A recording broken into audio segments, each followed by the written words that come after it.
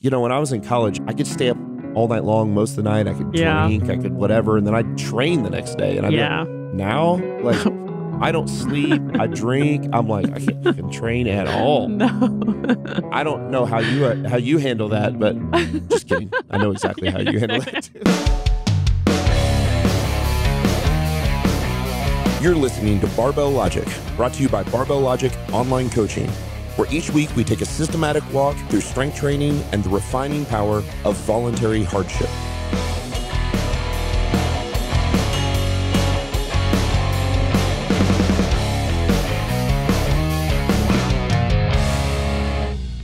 Welcome to the Barbell Logic podcast.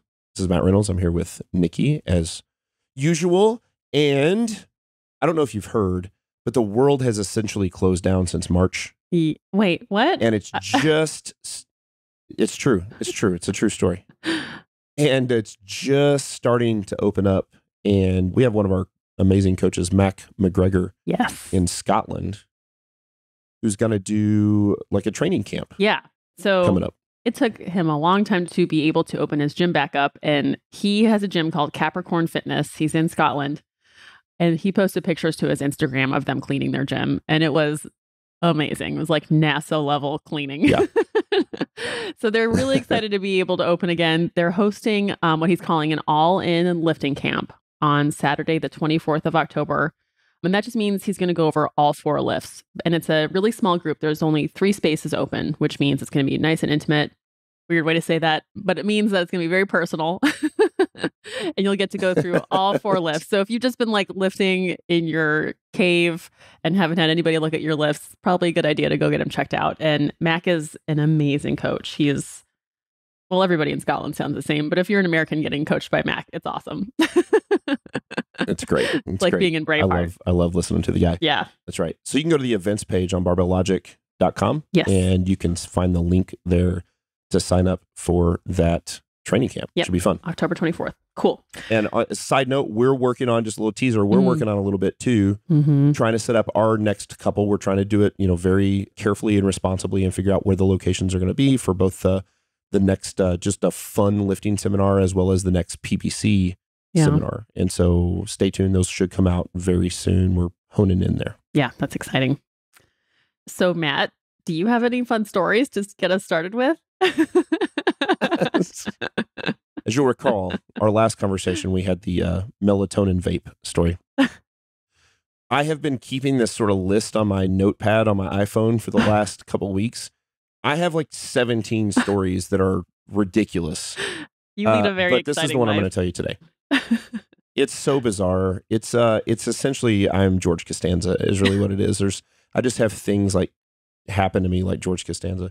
so Rachel's parents probably 10 years ago bought a hot tub and they used it for a little while then they kind of stopped using it and they've taken they're the kind of people who take really good care of everything and so they've been asking us for a couple years like do you want our hot tub? And I'm you know like yeah but it's just it's it's not like a you know it's not like getting a chair. It's a kind of a big ordeal. And so I've been kind of pressuring a little bit because I think they want to rebuild their deck and stuff in the backyard. So okay so so we decide yes let's do it. We get a bid from a contractor to pour concrete slab and stuff in our backyard and build our deck around it. And then of course we have to move it. Well an empty hot tub is about 800 pounds and it's you know it's seven feet by seven feet. It's good size and so it's not an easy thing to move so we've got to hire professional movers to move the thing. So we had professional movers move us uh, a year and a half ago and moved into the new house. They did a really good job movers are and first if you're listening and you're a mover i apologize for what i'm about to say but they're sort of like carnies. I feel like there's a lot of crystal meth smoking that goes on with movers uh, at least in the springfield missouri area and so i have interviewed a handful of them and these are not the sort of people you would want to take your daughter out on a date. Mm. they're rough they're rough guys. And uh, and so this company that i chose were a little less rough than some of the other companies.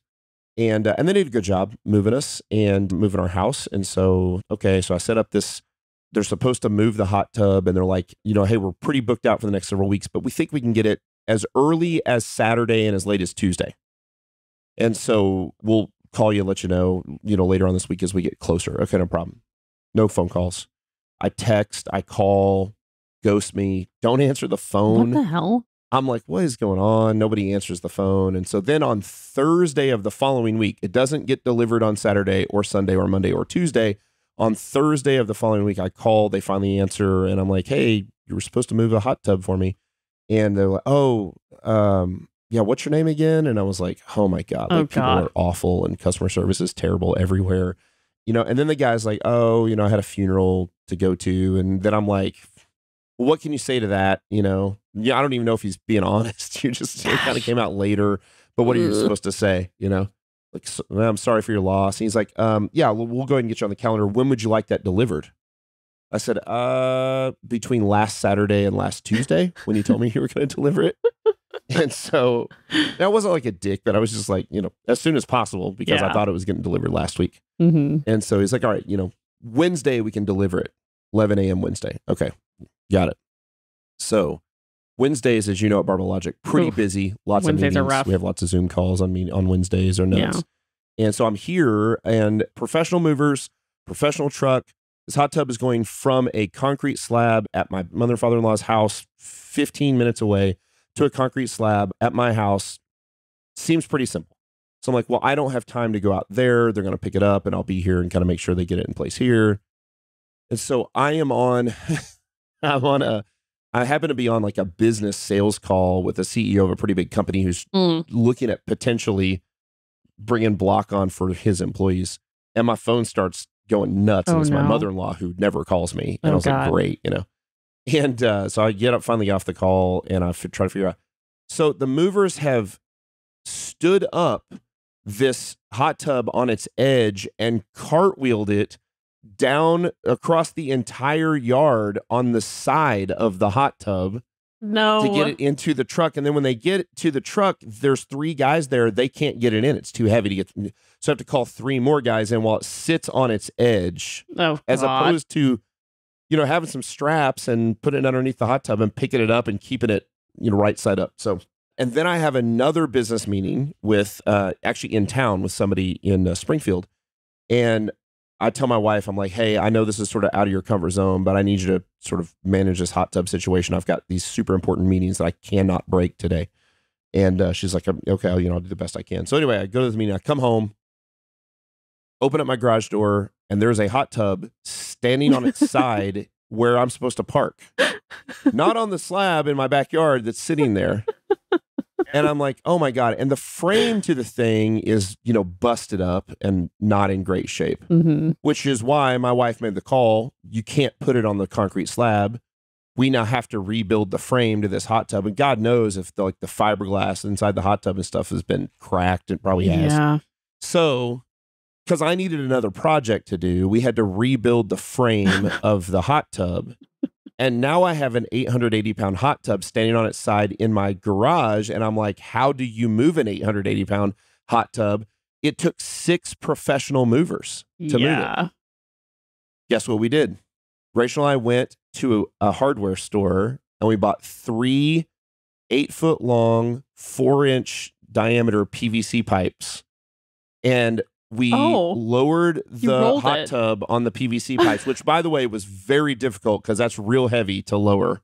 And then we rolled it on the PVC pipes right side up Uh-huh. right? So three PVC pipes would be Yep. on two. The third one would come out. We'd take my kiddos would take it out the back, bring it to the front, put it on, and we rolled it across. Only took about 12 minutes and we got it right on the concrete slab. Perfect. Super and that's it's a perfectly built base. Yeah. Nice. Yeah. So the moving company hasn't invoiced me yet, but when they do, they got we got a talking to coming. It sounds like you should invoice them. I know, right? I want to be like, are you you literally cartwheeled it down? Anyway, I hired so some movers once to move me out of my apartment, and they I had this really nice mattress, and only one person showed up, and I had requested more people show up, but it was just like one dude showed up, and he like Right. I had this narrow entryway. This was when I was living in San Francisco, and this like three thousand dollar mattress. He did the same king size. He had it on its side, and he just cartwheeled it down my alleyway Yeah. and then up some stairs. I'm just like, oh my god, please stop! It's like the only thing Yeah, that like, I want to move across the country with me. like it's- yeah. Right. By the way, Yeah. how would you like to be in the three thousand dollar mattress business these days when mattresses only cost $300 now. Yeah, right. You notice that? Yeah. It's bizarre. Like it's China's like, "Oh, we're going to get in this business." And all of a sudden mattresses are 10 I remember when you when I first got married, I was like, "Oh, we can't buy a mattress. Like we can't that's a we big can, thing. That's a that's what a car that's what a car costs." You know, I think it's and the same yeah, I don't know, companies. 8 8 years ago. I think it's the same companies make the three thousand dollar ones and they make the three hundred dollar ones, and it's the same mattress. Yes. Yes, although there are still some $3,000 mattresses that you can get for the boomers who don't know better, Mm-hmm. but in another 10 years, those won't exist because everybody our generation's figured out well, you can just go on to Amazon and buy a Mhm. super nice memory foam mattress for 300 bucks. And so we Yep. bought all new mattresses for Anyway, so that's my just so you know, there are 16 more stories almost identical to like just as bad and just as ridiculous that I'll just, you know, we'll just tell one every It sounds like we have for a new while series I run out of idea. I know. yeah, ridiculous life stories with Matt Reynolds. So, what are we talking about today? Okay, so popped in my head that we could talk about ways that you could be sabotaging your own training. Maybe you don't even know about it, but it's little things that you're doing, maybe little habits you've picked up, ways that you're holding yourself back. Because you and I have had a lot of experience. I know with myself, I probably sabotage my own training. And then we've, between the two of us, just coached thousands and thousands of, of clients. So we see little things that Yeah. people do that end up sabotaging their own progress. So I think we're going to go. We have like, we each, Matt and I each have our lists ready. So we're going to kind of go back and forth. I bet there will be some similarities. Yep, we're gonna But- play a little sabotage tennis here. Yeah. but I thought it might be a good idea to start with defining what they're sabotaging themselves from accomplishing. So, kind of defining what successful training is. And that might look a little bit Yeah. different from person to person, but what is successful training? What's your definition of that, Matt? I think if I narrowed it down to the simplest definition, it would be that session by session or week by week, you are consistently moving towards the goal. So if the Mhm. goal is to get stronger, which for most of our people it is, but not for everybody, but if that's the primary goal, then you are consistently setting PRs. That doesn't mean that you don't have a bad day or a couple bad days or have some fatigue built up. And we can talk about some of those even later in the podcast. But if you look over time, week to week, month to month, you are clearly moving in the direction of progressing towards your goal, Mm-hmm. whatever that goal is. Mm-hmm. I think that's successful training. I think as long as if the goal is to get stronger and you're able to keep putting weight on the bar, then you're fine, Mm-hmm. right? And there may be some things that you can still continue to fix and clean up and make better progress. But I think in general, if that's what you're doing, then you're doing just fine. But if you're at this point where you're like, man, I'm really struggling to hit PRs, or I'm really struggling to reach the goal, I'm really struggling to maybe your goal is to lose four inches off your waist and it's not coming off. Like at some point, you have to go, what am I doing to sabotage the goal? Mhm. Yeah. That's the way I look at it. What about you? Yeah. I'd say successful training is something where you are driving progress, exactly what you just said. It could be all the different ways that we can achieve PRs. And also, it's still adding value to your life. Like, there might be, you know, just acute days where you're just like, ah, I hate training. I really don't want to do this set of squats. But like on the larger scale, it's keeping you strong so that you have more muscle on your skeleton. It's giving you a habit that you regularly perform that leads to something bigger. And I think sometimes that's missing in people's lives, big or small. It's just like you need like some things that every little thing you do leads to something bigger that adds value. Yeah, that's good. Gosh, that emotional side of adding value is such a huge piece to what we do. I can remember I remember the first time I really saw this when I owned Strong and we had a really good group of powerlifters who were, you know, in the powerlifting world, there's not really much money, but if there was such a thing as professional powerlifters, these guys were it. And it Mm. wasn't me. Mhm. I mean, this was, these were all guys that squatted over a thousand. These were like, I mean, really strong guys. And I watched them train, and nine months out of the year, it appeared that they absolutely hated training Oh wow. because Mhm. they approached it like a job. yeah. Training was a job for them. You yeah. know? And I remember thinking to myself, I don't want to do that. I don't remember ever feeling that way when I was when I was a professional strongman. I liked to train. I Mhm. always loved training. Now, I've had times in my life where I'm like, I don't like the style of this training. Like I, Mm. you know, I was doing DUP and getting really strong, but I was also like, I hate this. Uh, so I have had times like that, but for the most part, I enjoy training Yeah. and I enjoy what it gets me. I enjoy the way it makes me feel. So you're exactly right. You want to be able to make progress towards the goal, but you also want it to bring your life value. That's Mhm. successful training. Yeah. So, So, what is you want me to go first? I think we were doing the same thing. You go first. Yeah, we're about to try to. Okay.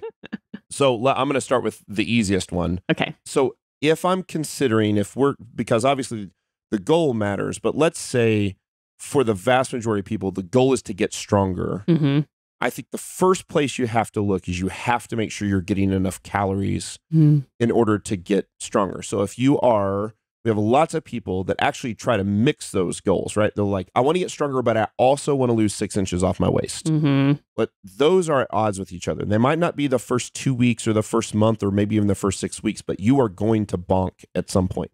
So you have to make sure you get your calories.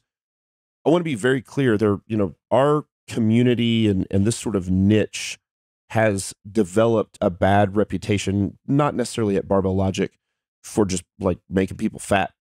We don't want you to get fat. No. That's a bad deal. Right. But at the same time, if you're not getting enough calories to fuel the sessions and repair, hmm you are sabotaging your training. Yeah. So you can't come in and go like, "Hey, I would like to get 20% stronger, but I'd also like to lose 10% body fat at the same time." hmm That that will sabotage Yeah. your training. And those goals are totally valid. Like, of course, you want to be stronger. And of course, you want to have a good body composition. But it's like we need to be really realistic with, like, okay, let's maybe work on one a little bit more than the other for now. Because if you try and accomplish both really hard, you're probably going to fail at both. And then you're not adding value. Yeah. Yeah. That's a really good one. That's a great point. Mhm. You will fail at both. So there is a chronology that needs to occur there. hmm In our world, everybody wants to get stronger and everybody wants to look better, and Mhm. that is okay. hmm but it is hard to do both at the exact same time. It's certainly hard to like put the pedal to the metal on both. Yeah. At some point that'll come back to bite you. So Yeah. so that's my first one. Okay. Good one. Are you getting enough calories? Are you eating enough to accomplish the goal? Yeah. Okay. What about you? Mine is, and this I think is maybe a little more common in beginners, is you don't plan to train.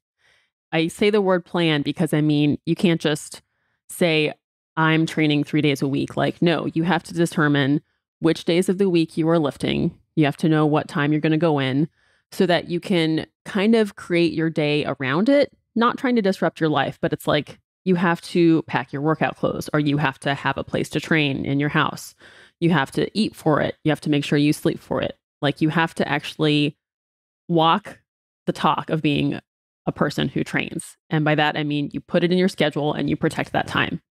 That's it. Yep. Yeah. That's good. Yeah. Because if you don't do it, then you don't do it. That's right. This is one of those where I want to be clear. I, the last thing I want to do is be hypocritical here, but this has been a big struggle for me as the businesses that I have owned over the years have continued to grow hmm I have learned that I have to train.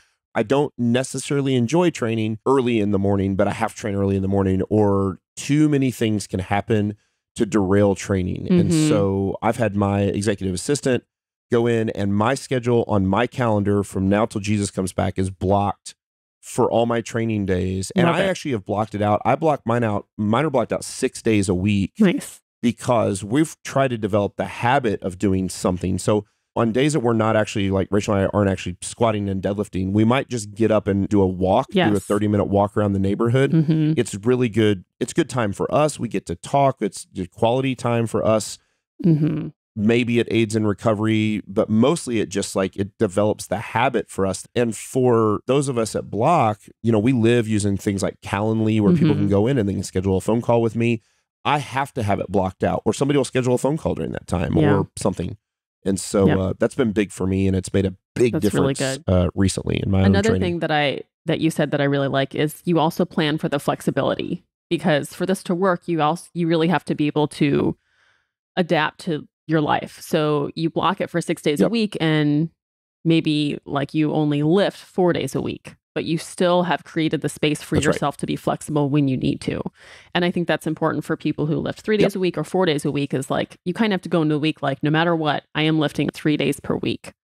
And you just know that you might like swing them around That's right. between the days, but by the end of the week, you've lifted three days, and that's awesome. So planning and then planning Yep. for the flexibility. Yeah, I've, Yeah. I've told my clients lots of times where they I don't care. Sometimes you'll they'll send you on our software. They'll send me a, a DM and they'll be like, "I'm so sorry I missed Thursday's workout. Is it okay if I do it tomorrow on Friday?" And like, "Yeah, of, Of course. course. Like all I really care about if you're scheduled for four days or if you're scheduled for three days is that you get those in. If they're Yeah. if everything gets pushed back a day or or pushed forward a day, it's it's typically it's okay. So that's a good one. I have a client right now who is similar to the issue of not eating enough calories. Another thing that I see with a lot of people is over exercising Mm-hmm. is sabotaging your training. Now, this isn't exactly fair.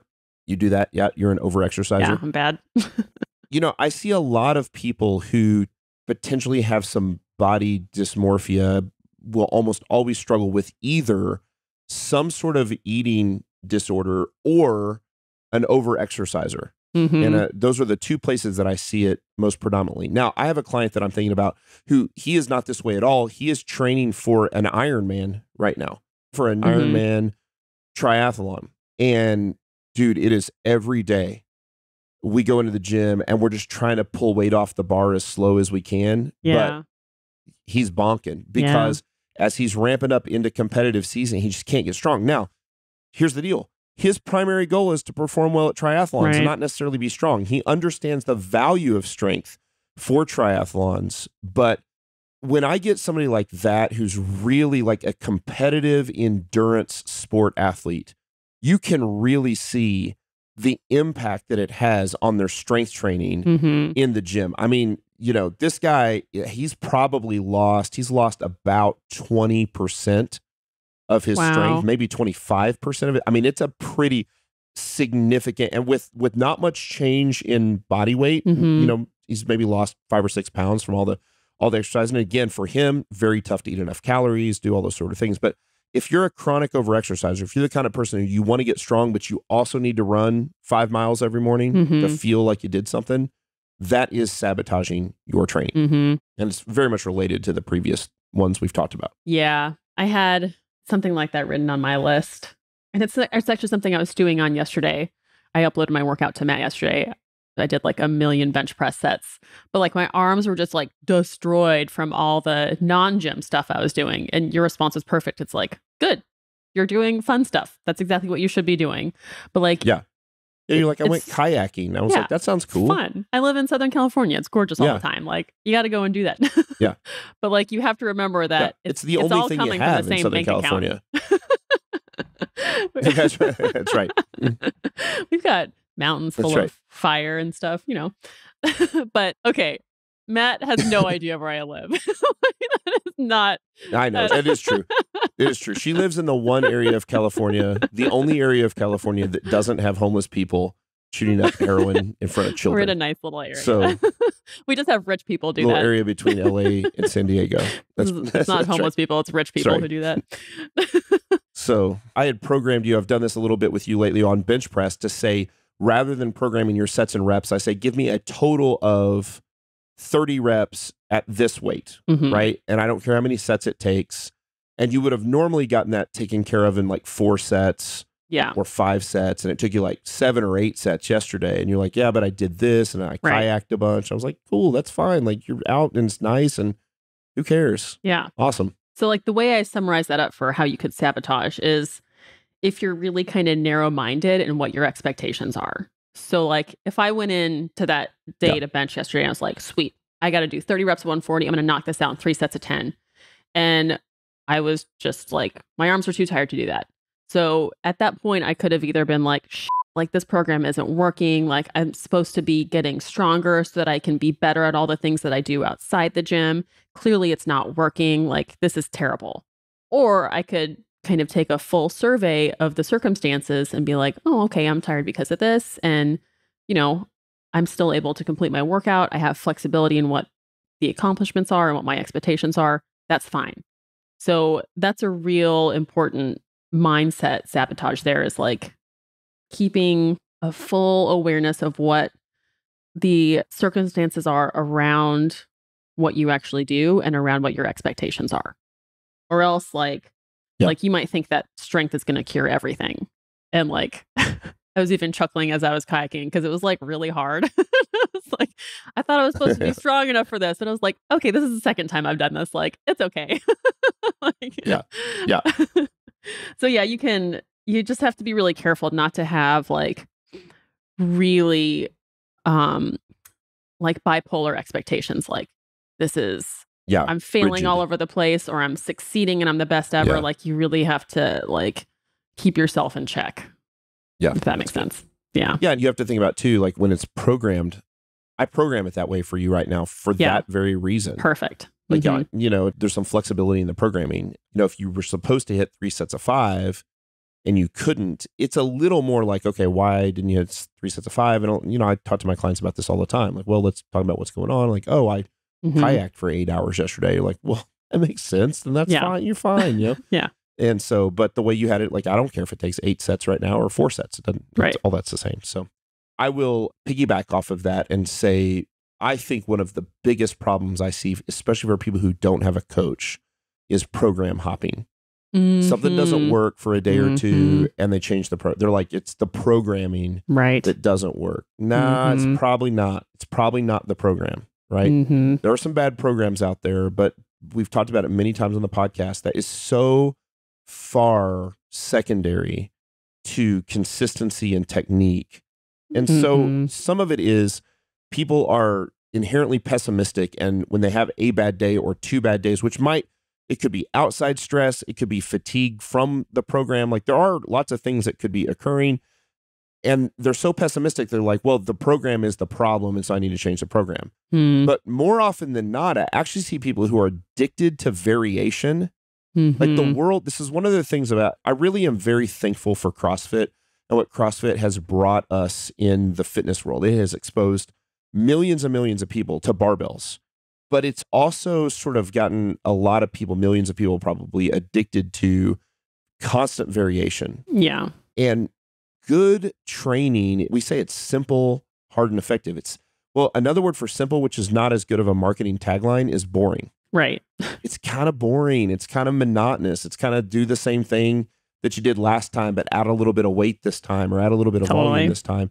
And when you hop programs, you are sabotaging your training mm-hmm. almost every time. Even when you hop from a good program to a good program, mm-hmm. you're sabotaging your training because they totally. build on each other, right? So we did that podcast just a couple weeks ago about um, you know when when the small increment isn't the minimum effective dose. Mm-hmm. Occasionally, mm-hmm. like once every few years, you have a client that's done this and, and sort of done the grinding thing for so long and made the little incremental change and the little incremental change and the little incremental change for years. And they're like, they just need sort of a completely new program. They kind of need to change their goals and move a different direction. And every once in a great while, every several years, that's perfectly okay. It's perfectly acceptable. Mm-hmm.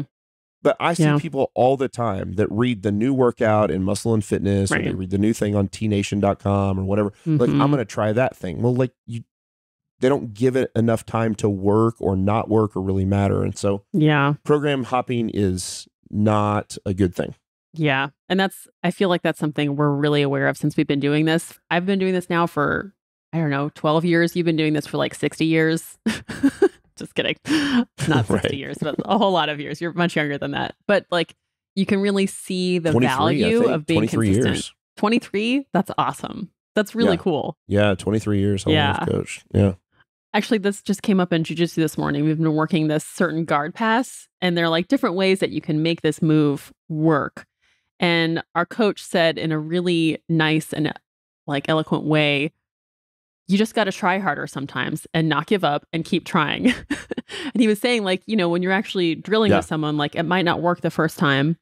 Try it again the second time, try harder. Don't just abandon it and go to something different because then you're just like doing a lot of different things that aren't working versus being persistent and actually adapting to the situation and making it work.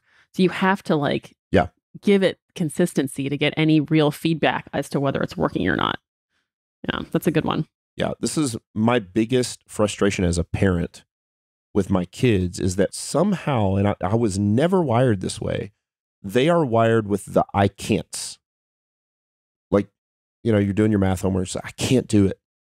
And they shut down. And I was like, I was never that way. Like, well, we got to learn how to be problem solvers, guys. You got to problem solve. Yeah. Like, you don't want to always do whatever the thing is, but st- stay with math. Like, what good is it to just do math? Like, I don't want to sit down and do an entire sheet of paper that's like single digit addition.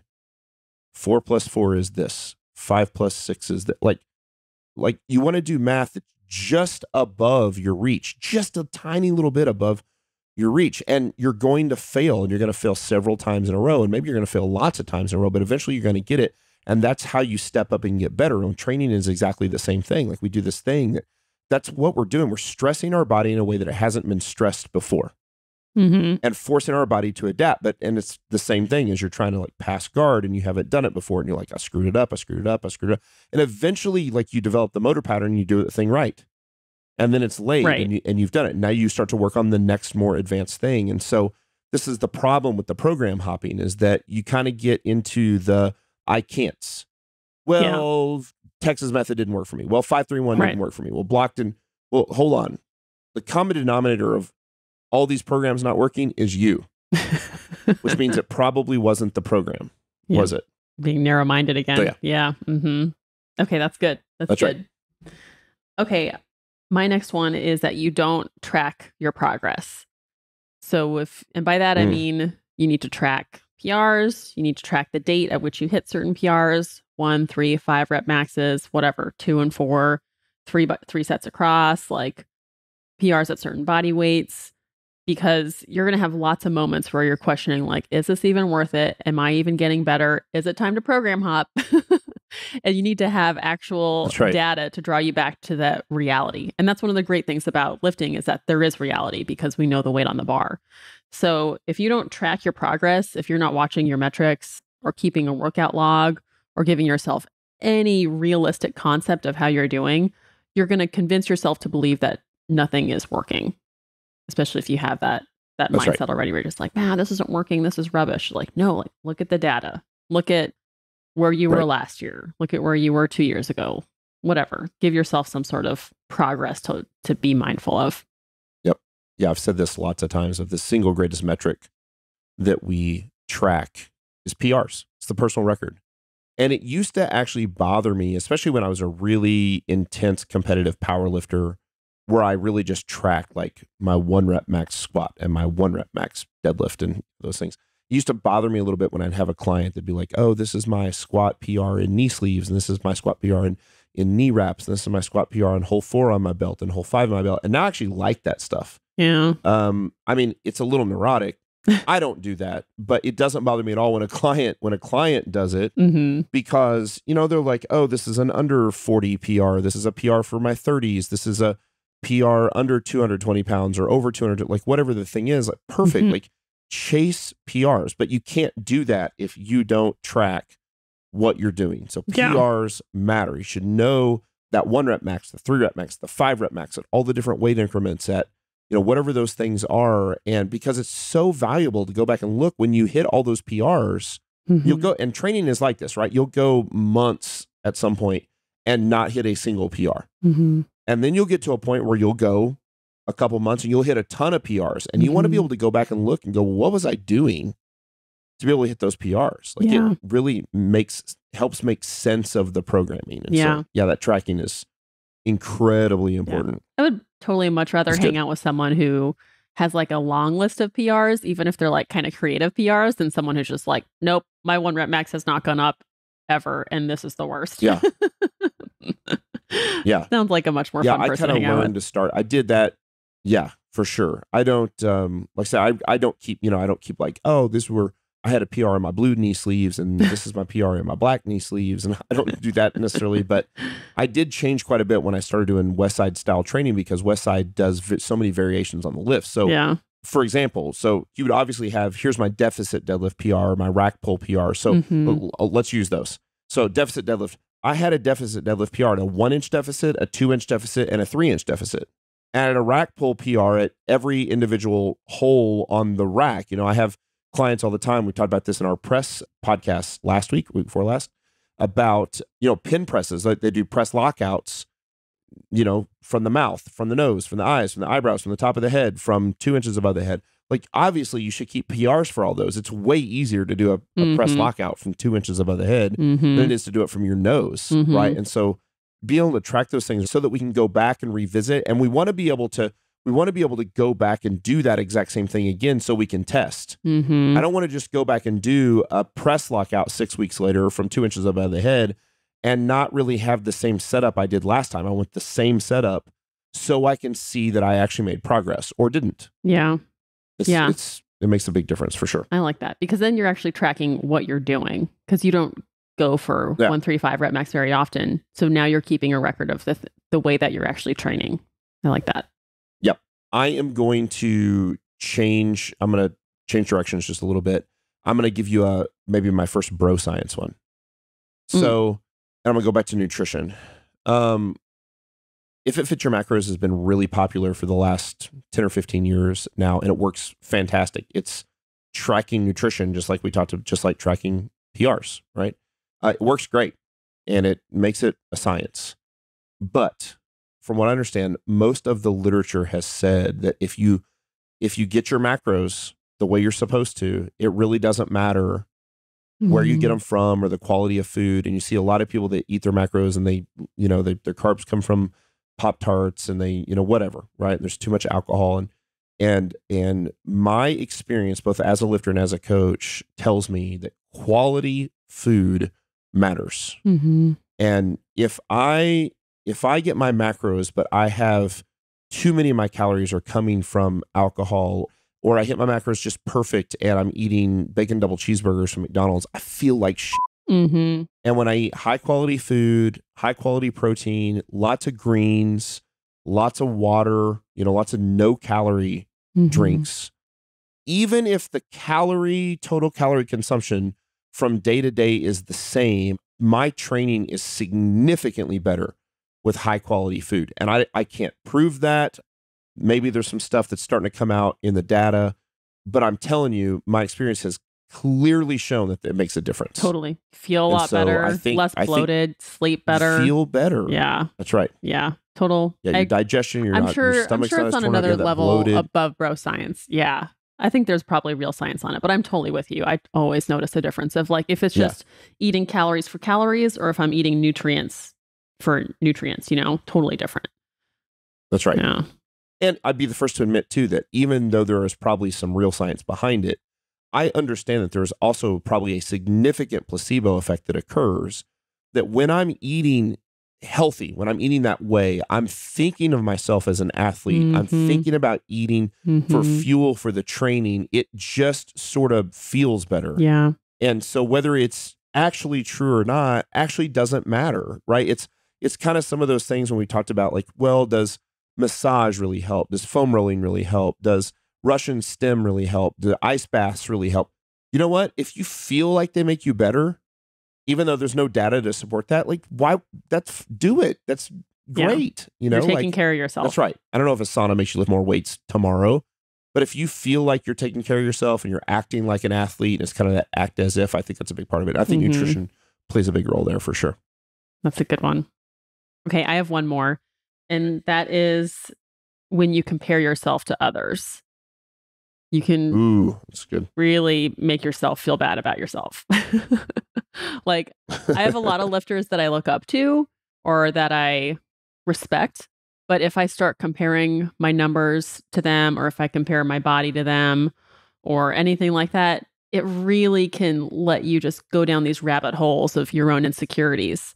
So I think it's good to kind of celebrate other people who might be a little bit better than you, but don't compare yourself to them because you are on your own journey. Sounds really Southern California of me, but like, you know, you're coming from somewhere different. You have your own mindset, you have your own genetics. Like, mom and dad gave you what you got, and their parents gave them what they got, and they had their totally own history. So don't don't fall into that trap of thinking that you should be as good as someone else or you should look like someone else. Like you have to Yeah. enjoy your training for you and what you're doing. That's the big one. Yeah, that's good. Mhm. That's good.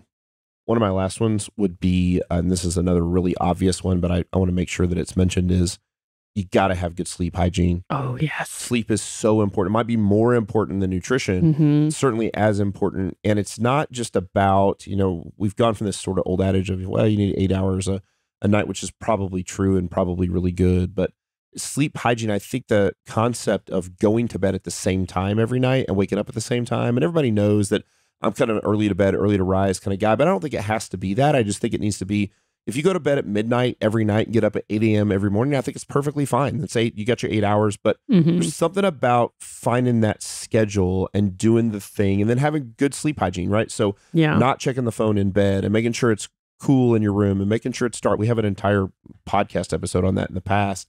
It's made a big difference in my life. You know, I have a CPAP. That's another one that for you, mostly for the males, but certainly, I mean, my mom, lots of people have um, CPAPs that are that are not males. Um, it has changed my life. My sleep is so much better.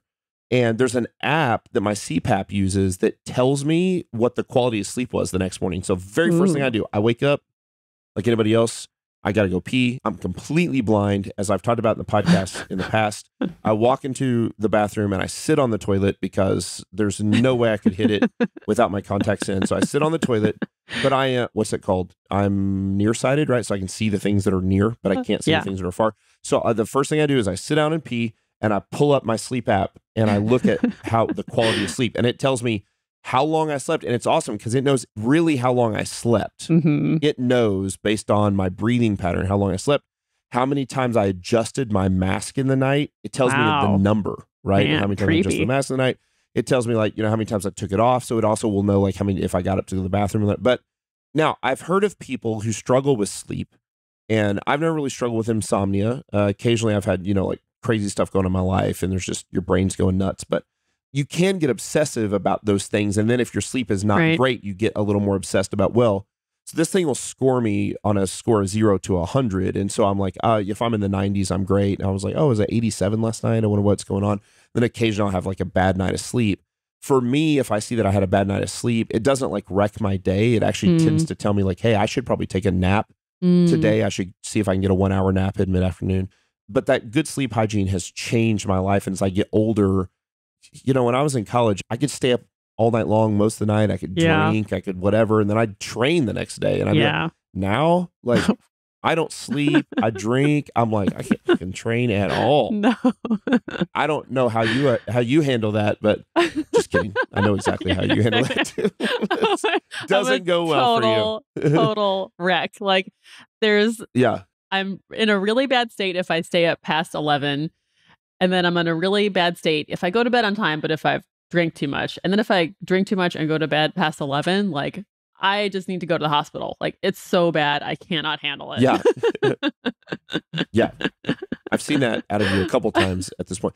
I'm kind of the same way. It's sort of weird that I don't feel good if I get like five hours of sleep, four hours of sleep. I, most people don't. Mhm. And I don't feel good if I have a little bit too much to drink. But if I don't get enough sleep and I have a Oh. little too much to drink, It's so it bad. is awful. And it doesn't, it's not, you know, again, there were times when maybe I, you know, I'd been hungover when I was 22 and you're recovered by 3.30 in the afternoon the next day, Yeah. right? Yeah. And now in my 40s, my hangovers last six days. Yeah. My training is ruined for the week. Oh yeah, it's like and I remember and being and it- hopeful during hangovers when I was younger, but now there's no hope. It's just like, okay, well, if this is how life Right. is, like, I don't know. not bad. I know. Maybe maybe I should just put myself out of my misery. That's right. So Sorry. yeah, Bad. you know, some of those are obviously super obvious, right? Yeah. You don't stay up over drinking and not sleeping, but I'm still surprised at how many people, you know, look at their phone all night in bed, check their texts several times or their emails in the middle of the night, have that Mhm. have that cell phone light in their face, watch TV in bed, go to bed at all kinds of different times of the night. Uh, you know, that, and so just even if- so, if it's not, if you're somebody that's like, I don't, and, I- and that's not us either. Like, where it's not common for me to drink too much and not sleep. That's Right. a that's a once a Very year that I. I'm like, "Look, I drank a little too much and didn't sleep enough. yeah. But it's been very important. to me. Like, I go to bed early. Rachel and I were on a date the other night, and uh, and I remember it was like I was like, man, it's about time for what time is this? We I mean, we got to this like nice restaurant, had some drinks, had some food, and I looked at, I was like, man, I'm sleepy. It was six forty seven p.m. You know what we did? Got in the car, drove home, went upstairs, and at 717, I was in bed. So Now, I didn't go to sleep. You know, I read a little bit, I Mhm. read a little Wall Street Journal or whatever. And then Yeah. but by 8 p.m., I was Night, night. out. And it was glorious. It's so good. I love it. It was glorious. We could talk about sleep for a long all of those are- the I best. Yeah, we could. We could. So, so those are, there's a big handful of things Yeah. that you could be doing to sabotage your training. Some are probably more obvious than others, things like over drinking, not having Mhm. enough calories, over exercising, but also making sure that you're doing those things we talked about, about making sure that training adds value to your life, that you're Yeah. dedicated to the thing, that you're not a program hopper, that you're, all of those things, those are the ones that tend to sneak in and get people, especially the ones who have trained for a while, Mhm. that know that they're not supposed to obviously you're not supposed to have seven glasses of whiskey before we go to bed but if you've done a program for three weeks you're like ah, i don't really like this program and you switch programs you do it again four weeks later things like that are the things that'll sneak in and get you and really sabotage your training and so Yep. i think that's really important and the last one i'll throw this and i really don't mean this to be a commercial but if you don't have a coach or you don't have someone see you lift at least on occasion Mhm. you are sabotaging your training. And so um, this is not a plea to get you to join Barbell Logic online coaching. Um, you know, for us, I've talked about this lots of time. One of the things I've really missed about 2020 with the year of COVID is I haven't been able to get in-person coaching from you Mhm. and from Andrew and from Mhm. Cody Miller and those people that I respect that I love going and doing these seminars because I get good coaching for me. It's Yeah. really enjoyable. Mhm. Um, and so even if you're somebody who doesn't get online coaching from us, and we would love for you to do that and get coaching every single day, somebody needs to get their eyes on you. I like being coached by my wife. My wife is a Mhm. good coach Mhm. and she'll be a little bit hesitant about it. But if I ask her, I'm like, you know, please watch this and let me know. She's got a great eye. And so it's, Yeah. you need to have somebody watching what you're doing. So, you know, even if that is just videoing yourself doing your workouts, checking your form, occasionally posting form checks, going to Mhm. experience, things like that, you've got all those options. You've got to make sure that the form is right. Um, If Mhm. it's not, you're sabotaging your training. Yeah. I dig it. Cool. Cool. That's your list. Yes, that's everything. So I hope you maybe connected with something in there that will lead to more success towards whatever successful training means to you. I know it's a little bit different, but I just want training to really be a good right. part of people's lives. Yeah. Cool. Yeah. Yeah, and it's different. You know, it's different. We've talked about this before, where some people that training is like a spoonful of medicine, and some people need it. Um, Mhm. Saturday, I think it was Saturday. My wife and I trained. We had a really good session with squatted and deadlifted, and then I've got all these. You've seen it. I've got a kind of a line of lower body accessory equipment now, right? Where I've got all these, you know, leg extension, leg curl, and a reverse hyper, and a glute ham raise, and a echo bike, and so we'll we'll do the main lifts, and then we'll go out and we'll just hammer some circuits on this stuff.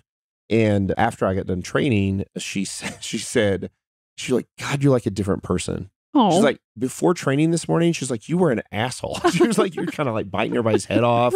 And uh, and then you trained, and she's just like, you're just like fun and you're telling jokes and you're relaxed. And so for me, I need that. And uh, I, you know, I think if you're not careful, it's certainly another way that to sabotage training is is if the external stressors in your life are through the roof, Mhm. then that will absolutely sabotage your training. That's the I am constantly looking at that as a coach for my clients, trying to pick up on if they are overstressed, it is imperative that I make training enjoyable for them. absolutely. If they are super stressed and then I'm trying to make them chase PRs and then they miss the PRs in the gym, Oh, that is so bad. it just is a snowball effect of it's bad. So bad. And so instead, I'm like, hey, let's go. Well, you and I did this not that long ago. and It wasn't really stress, external stress. It was injury. You had enough sort of things that had built up that then I'm programming you and you're going in and because of your injuries, you can't hit the numbers that I programmed or the Right. things that I'm I'm asking you to do. And you're like, everything hurts. I'm like, whoa, hold on. yeah. Let's figure out a way to make training more enjoyable again. right. And let's let's just do that for a while. So you and for me, that's a huge it's training is the thing that I need that will help me process that stress and be the husband that I need to be, the father that I need to Mhm. be, the CEO that I need to be, those things.